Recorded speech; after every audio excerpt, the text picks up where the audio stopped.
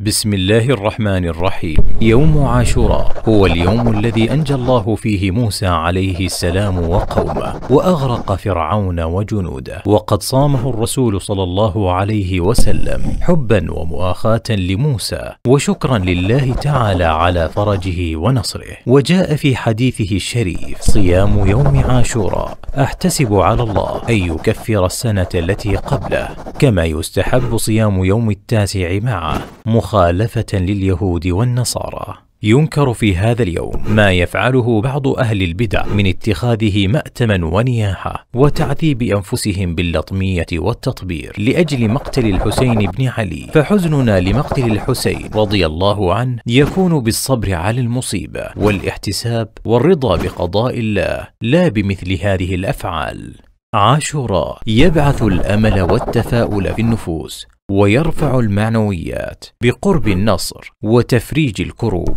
وأن الله ينجي أولياءه وعباده المؤمنين ويهلك الظالمين ولو بعد حين كما أنجى موسى عليه السلام وأغرق فرعون.